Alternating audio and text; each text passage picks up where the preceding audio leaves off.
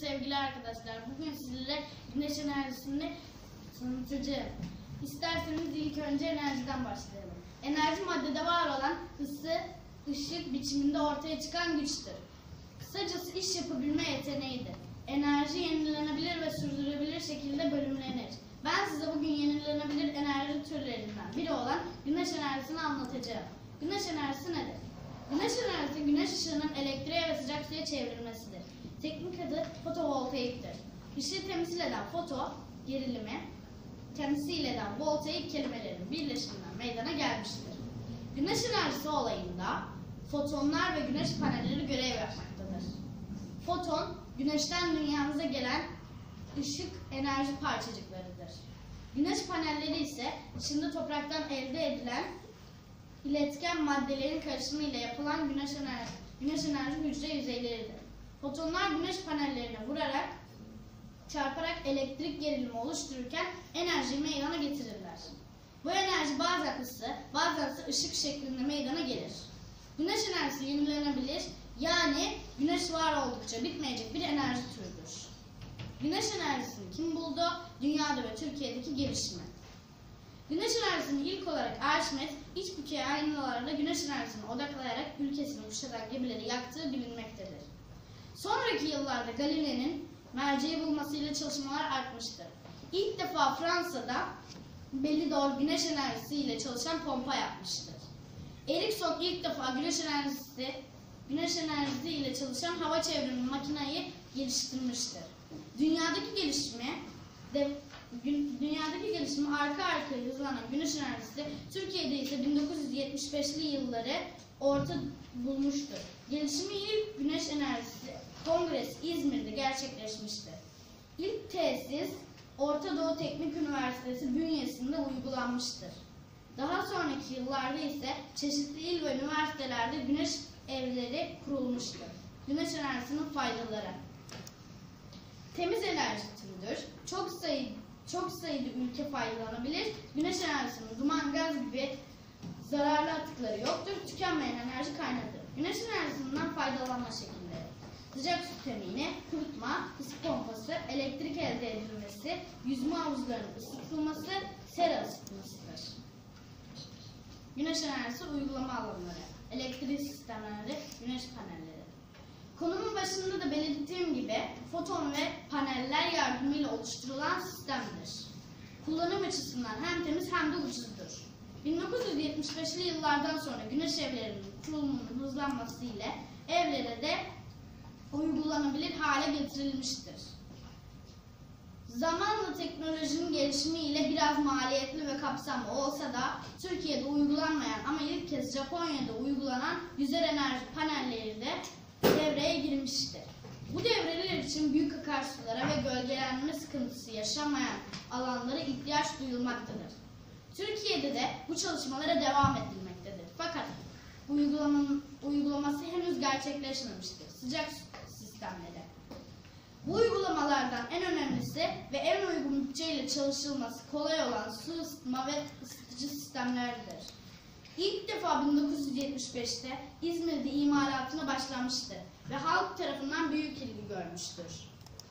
Çeşitli şirketler tarafından imalatına başlanan bu ısıtıcılar toplayıcı, depolama tankı ve bağlantı elemanlarından meydana gelmektedir. Toplayıcı dediğimiz güneş ışınlarını toplayan, sıcak suyu depolayan tank, evdeki su borularına sıcak suyu taşıyan bağlantı elemanlarıdır. Arkadaşlar ben şimdi size bir tane animasyon izleteceğim. Elektrikle alakalı. Başlayalım.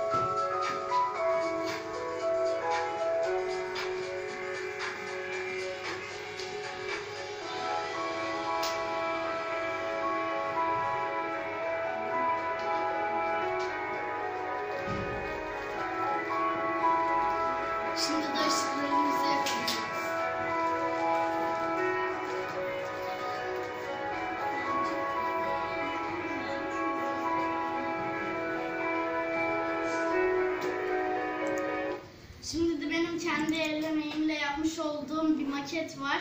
Onu size göstereceğim. Elektrikli oda. Bizim şu an güneş, güneş normal güneşi kullan, kullanamayacağımız için ben fenerle kullanacağım. İsterseniz toplanabilirsiniz. Evet.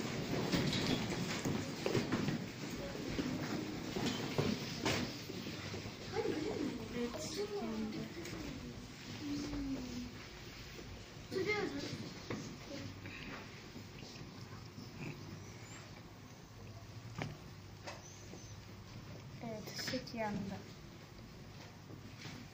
Ben yanıyor mu öğretmenim? Evet, şimdi ışığımız yandı.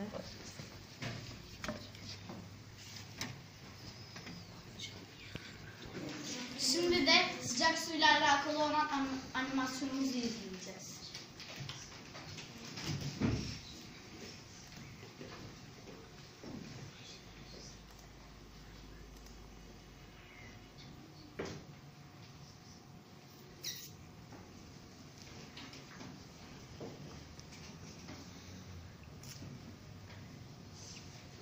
Burada görüyorsunuz güneş panel e, güneş güneş ışınları güneş panellerine vurarak suyu depoluyor.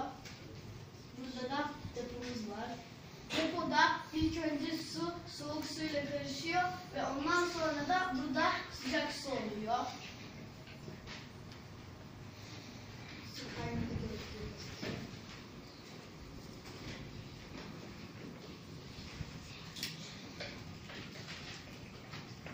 Evet, burada suyumuzu artık kullanabiliriz, sıcak suyu. Şimdi de sıcak su maketini göstereceğim.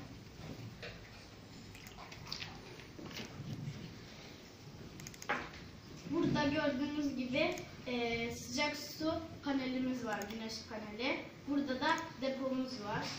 Şimdi oraya su döküyorum. Ve aşağıdan su gelecek. Gördüğünüz gibi su geldi. Orada an su titriyor. Şimdi sorularımıza geçelim.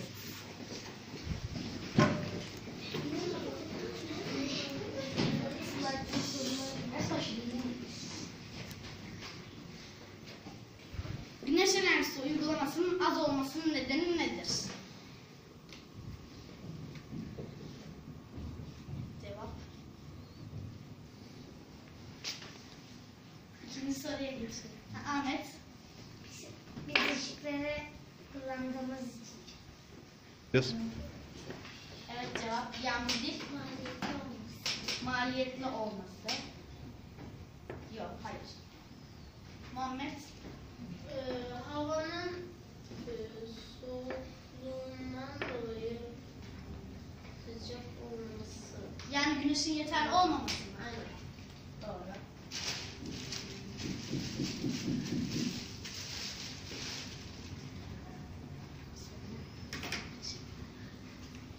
İkinci soruya geçiyoruz. Güneş enerjisinin sağlıklı ve ucuz olmasının sebebi nedir? Yüksel.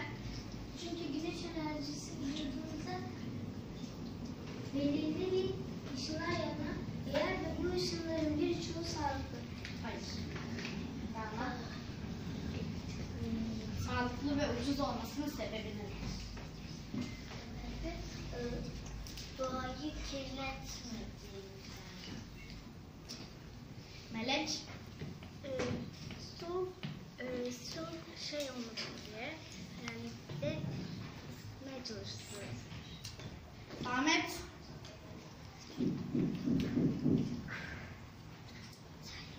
Söyle.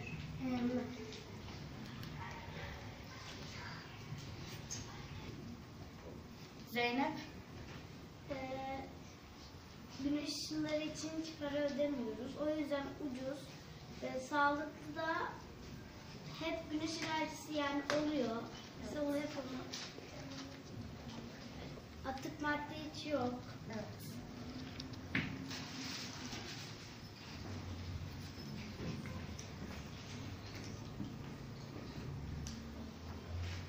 Son soruya geçiyoruz. güneş ışığının faydalarını arttırmak için neler yapmalıyız? Melek? Çevreyi kirletmemeliyiz. Evet.